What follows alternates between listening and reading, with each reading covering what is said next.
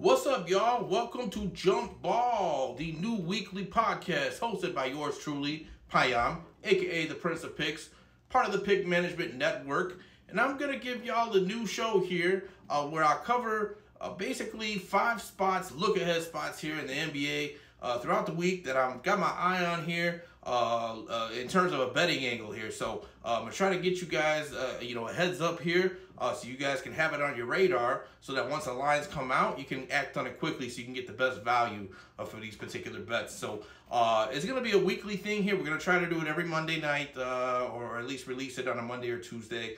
Um, and yeah, like I said, you know, it's just going to be covering basically look ahead spots slash futures. You know, if there's any futures I like in terms of the value for that week, uh, you know, we might attack some of those here, but it's just going to be the top five every week um, based on look ahead spots throughout the week on the schedule. Um, and then any futures bets as well. So uh, obviously, you know, I can't predict injuries. So this is assuming that, you know, there aren't any major injuries throughout the week, that there aren't any, uh, you know, other uh, disqualifications here uh, that might alter some of these teams uh, that they put out here. But uh, assuming everything goes status quo here, for the most part, these are going to be the, the top five that I'm looking at on a weekly basis here. So this is the first week we're doing this. Um, for those of you who are new to the to the show here, to myself, um, who haven't seen me before or don't know anything about me, uh, let me give a quick rundown of, of who I am, just a quick introduction here. so my name is Payam, uh, aka the Prince of Picks. I am part of the Pick Management Network here. Um, I've been handicapping games since the fourth grade. I've been a, a, big basketball fan my whole life. Um, I've studied the game of NBA basketball for over 30 years. Um, and uh, yeah, I mean, I've been super profitable. So uh, over the last month, uh, in the month of March, uh, I've been plus 109 units. Um, and for the entire year here, I'm plus 64. Um, I have had a profitable month every month this year thus far in 2024. Um, that's all documented on the JuiceReel app. So if you guys want to go ahead and download download that, um, I can give you additional details on where you can find that information. Uh, but uh, having said all that, uh, you know, so I, you know, I, am relatively experienced um, in this field of NBA basketball, so um, I do have some substantial uh, background here uh, when I'm giving out these uh, picks and plays here. So uh, do with that what you will, but just a little, give you guys a little bit of context here um, as to as to what you're gonna get from me um, and some a little bit of my background here. So, um, but yeah, let's go ahead and we're gonna go ahead and jump right into it here. Um, these are gonna be quick shows, five ten minutes tops. I'm going to try to keep it under 10 minutes as, if possible here. So um, this one might be a little longer just because I gave you guys an introduction. But without further ado, let's jump right into my top five plays of the week. Uh, the first game I'm looking at here in terms of a look ahead spot, I am looking to the games taking place on Wednesday, March 27th.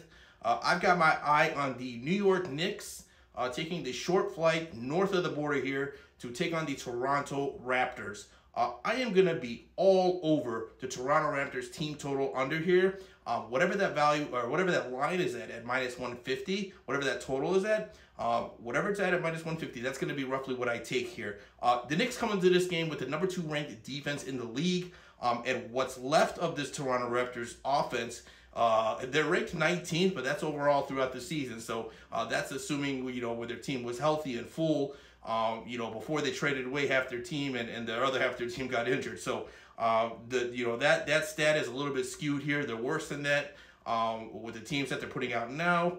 Um, and again, what's what's left of this Raptors team, I don't see how they're gonna be um, any way competitive uh, offensively here with the Knicks. Now, I'm going to stay away from the spread here because the Knicks at times can go through their own offensive struggles. Uh, so I, am a little hesitant to take them on a spread. But for this angle, we're just looking at the defensive side here. And I think the Knicks are going to absolutely shut down the Toronto Raptors in this game. So uh, once that line comes out, uh, I'm going to be taking it, whatever it is, at around minus 150. Um, whatever that total is, we'll be attacking that one. Uh, next up, I'm looking at Friday, uh, March 29th.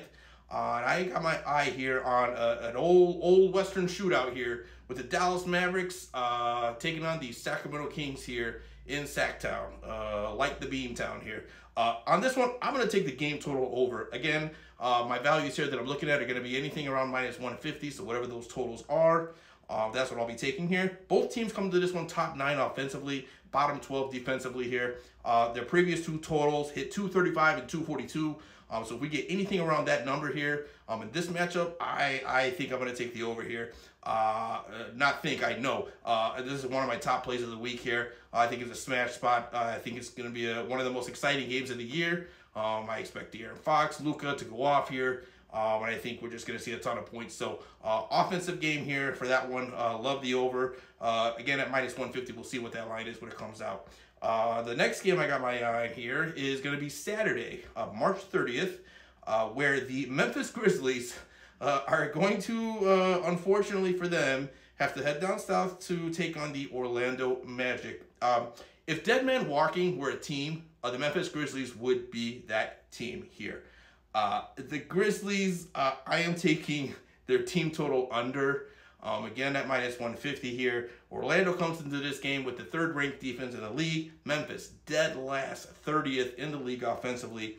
Uh, and the previous total here when they played earlier in the season hit just 213. Um, I wouldn't be surprised here if we get uh, way under that in this one. So I'll take anything around that value here. Um, I'd probably go as low as maybe like 205, 204. I don't think Memphis breaks 100 here. Um, problem is, I'm not sure if Orlando does either because they go through their own offensive struggles at times. But on the defensive side, they are an elite, elite team here. Um, and so I expect them to be able to stifle this Memphis team, uh, what's left of this Memphis team.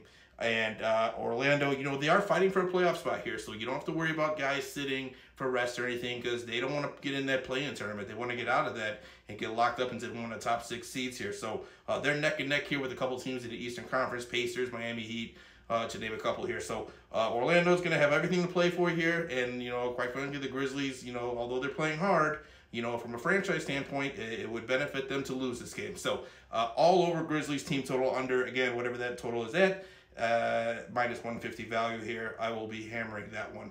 Um, and then my last two plays that I'm looking at in terms of uh, look ahead spots uh, is actually going to be future bets here. Um, I think these values are great. Um, I think they're peaking at the right time here. And I think if we wait any longer, I think these values might actually uh, work against us here. So I think we're going to get the best value with both of these plays here that I'm about to give out.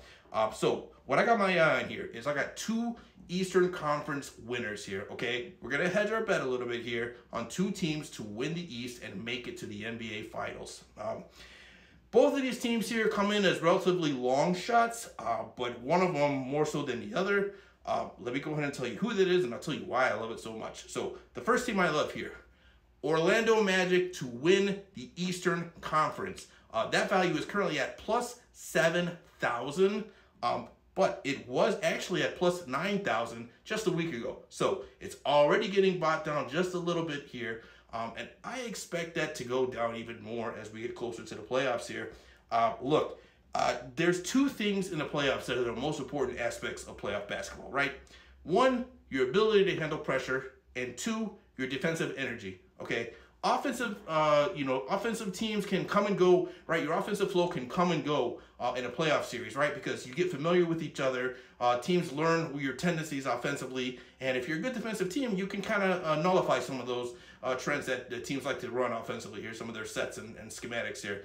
Uh, but your defense is, is, and I've said this before, it is based purely on effort and energy right? So if you can bring that on a nightly basis, you are consistently going to be a good defensive team. There's more variables on the offensive side that can deter your team rather than the defensive side. The defensive side is purely based on effort and energy. So uh, in Orlando here, look, they're not supposed to be here. There's no pressure on them. So uh, they got they're playing with house money here. Uh, I love the plus nine thousand. I'm not saying that's a lock, but if you got some extra money laying around, throw it on the Orlando Magic plus 9,000. Um, I think they have a better than, than good chance here uh, to make some noise in this Eastern Conference. And uh, defense uh, always wins out over a great offense. Uh, as a fan of the run gun Phoenix Suns, I can tell you that firsthand that your offense at some point will become limited in a playoff series. Um, and the other one here I like is the New York Knicks to win the Eastern Conference at plus 1,100. Again, uh, one thing you got to worry about with the Knicks, right, uh, historically, is Thibs likes to run his players into the ground. Well, this year, you don't got to worry about that because everyone's been injured. Julius Randle's been out for two months. OG Anunoby's been out. Jalen Brunson was out for over a month and a half.